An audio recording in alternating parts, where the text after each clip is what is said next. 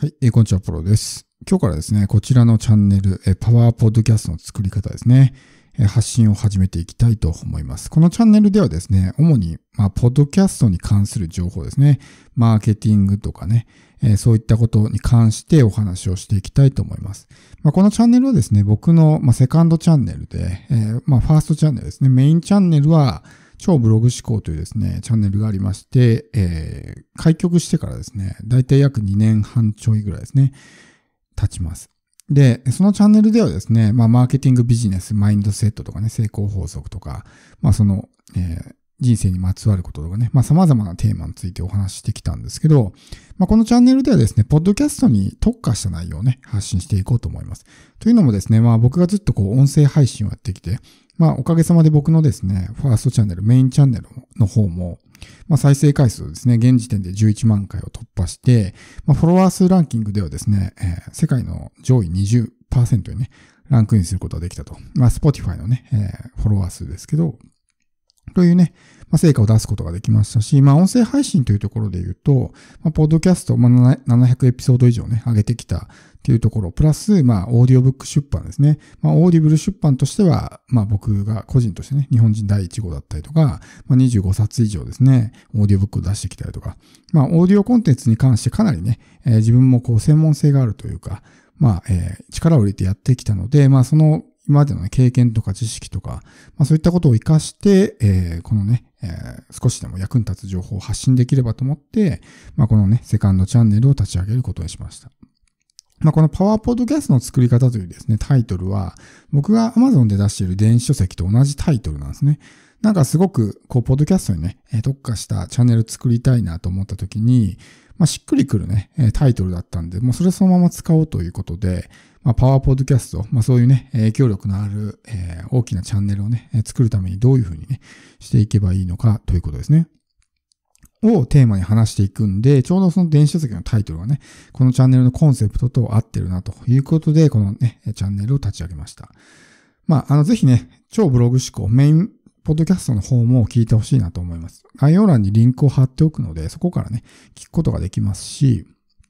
あとまあ、ポッドキャストのね、コミュニティなんかもやってるんで、興味ある人はね、もう本当にこう01の人、全くこう0の人も、えー、どんどんね、発信をしていったりとか、まあ、そのポッドキャストの発信っていうのは、ビジネスだけじゃなくてね、普通にこう趣味として発信するだけでもね、やっぱ楽しいですし、自分のラジオ番組が持てるっていうところでね、まあ、すごくそういう、まあ、楽しみながら発信ができるというところもありますし、あとはまあ気軽にですね、えー、こう隙間時間を使って発信とかっていうこともできます。まあブログみたいにね、1記事書くの何時間とかってそういうこともないですから。あとはまあこう喋りが上手になったりとかね、いろんなメリットがあるわけです。何よりも一番いいのがですね、この自分のファンができるっていうのがね、大きいんですよね。まあ、僕も本当にいろんな媒体、YouTube とかブログとかね、SNS とかいろんなところで発信してるんですけど、ファンになりましたって言ってくれるのはですね、唯一このポッドキャストだけなんですね。もうポッドキャストはまあ4人、知ってるだけでも4人の人からはファンになりましたっていう形で、まあ、そういうね、えー、問い合わせフォームから連絡もらったりとかね、メールもらったりとかしてるんですけど、で、なんでこれファンができるかっていうと、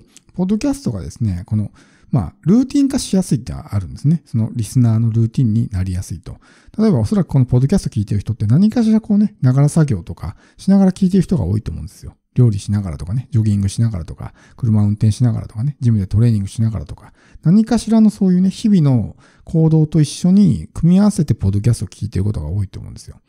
だこういった形でコンテンツをね、えー、こう消費する人が多いので、ルーティンになりやすいんですね。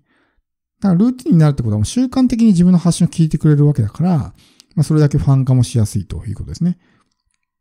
なので、ポッドキャストっていうのはすごく集客とかね、マーケティングにまあ、めちゃくちゃこう、えー、効果があるというかね、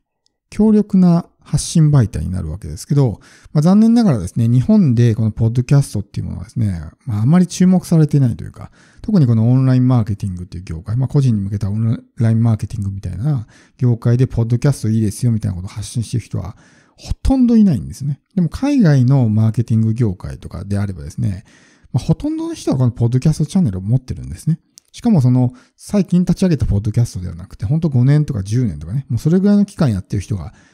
非常に多いと。でも、ポッドキャスト持ってない人の方がむしろ少ないんじゃないかなと思うぐらいなんですね。そういう、まあ、ね、名の知られているマーケターとか起業家とかね。っていう人たちはもうポッドキャストやるのが当たり前みたいな感じになってるにもかかわらず、なぜか日本では全然注目されてない。オンラインマーケティングという業界では注目されていないというところで、まあちょっと歯がゆさというかね、そういうのもあるわけですよ。ポッドキャスターとして。なので、まあそのポッドキャストの素晴らしさとか、集客効果、マーケティング効果っていうことを少しでもね、伝えていければということで、まあこのセカンドチャンネルをね、立ち上げることをしたんですけど、まあこれからですね、どんどんポッドキャストのね、えー、この普及っていうのはさらに広がっていくと思います。もうすでにね、どんどんこう、ポッドキャストのリスナーとかユーザーってのは増えてるんですけど、それだけじゃなくて、この注目度というところにおいてもですね、この2023年から YouTube がですね、ポッドキャスト配信を始める。あの YouTube がついに動き出すぐらいですね、やっぱり音声市場、音声媒体っていうのはそれだけ、まあ、こう、こう、効果があるとかね、広告効果もあるわけですよ。広告収入もそれだけね、得やすいというわけなんで、おそらくそれで YouTube が本格的にポッドキャストを配信するようになると、こぞってみんながね、ポッドキャストいいぞみたいな感じで始めるようになると思うんです。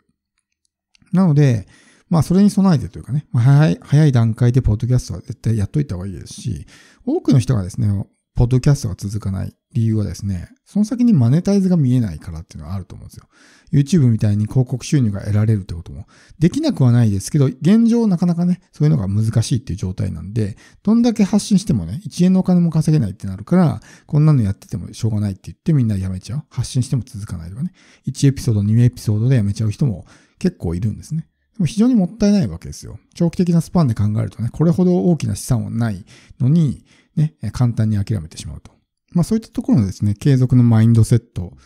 の持ち方とかね、そういったこともね、お伝えしていきたいと思います。まあ僕自身もね、こう、まあ3年近く続けてきて、700エピソード以上ね、投稿できたっていうのは、やっぱりそういうところのマインドセットがあったからかなと思いますし、もう本当にね、この、えー、ポッドキャストからね、自分の商品、高額な商品とか買ってくれるような人が出てきたりとかっていうね、非常にまあ、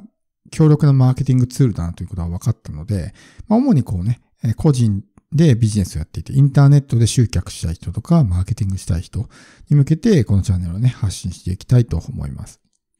まあ、ポッドキャストね、知られてない情報がたくさんあるので、海外とかではね、結構当たり前に知られている情報がいっぱいあるんですけど、日本だとね、そういうのを調べても全然見つかんないとかってありますから、そういうの、海外のね、ポッドキャストの情報とか、便利なツールとかね、そういったものもどんどん発信していきたいなと思うので、まあ、ぜひ興味ある方はね、フォローしてもらって、できればこうメインチャンネルの方と合わせてね、聞いてもらうといいかなと思います。で、こっちのチャンネルに関してはですね、ちょっと配信頻度はまだ考えてないので、やっぱりちょっと僕もいろんな媒体で発信してる手前ですね、なかなかここのチャンネルにどれだけ時間が割けるのかってわからないので、まあ更新頻度はできる限りね、あんまりこう、間を空けすぎないようにはしたいなとは思うんですけど、メインチャンネルのようにですね、毎日配信とか、っていう形で、もう毎日のように上げるっていうのはちょっと難しいかなと思うので、まあ、メインチャンネルよりは更新頻度は下がるとは思うんですけど、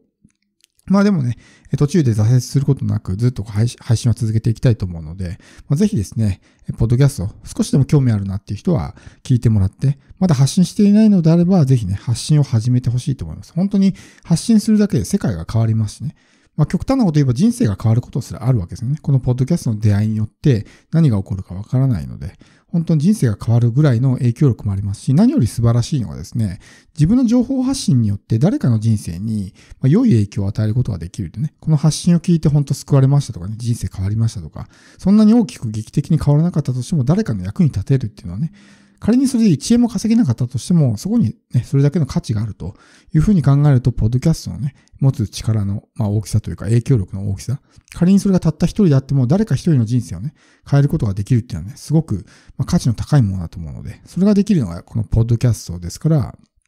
まあ、ぜひぜひね、少しでも興味があるんだったらぜひ始めてもらって、ただ普通に始めるだけではね、なかなかこう、アクセスが増えない、再生回数が伸びないとかね、チャンネル登録が増えないとかっていうふうになると思うんで、そのあたりのテクニックとかノウハウとかね、まあそういう知識とか、っていうのはまあこのチャンネルで発信していきたいと思うので、まあ、興味あるんであればね、ぜひフォローしてみてください。今回はね、初めてのエピソードなんで、こんなちょっと概要みたいな感じの話になるんですけど、まあ、ポッドキャストを使ったマーケティング集客、ビジネスとかね、ポッドキャストチャンネルの作り方とか、まあそういったことをね、メインで発信していきたいと思うので、まあこのオーディオコンテンツに興味ある方、まあオーディオブックのね、えことに関しても発信していきたいと思うので、興味ある方はぜひ今後もね、聞いてもらえればと思います。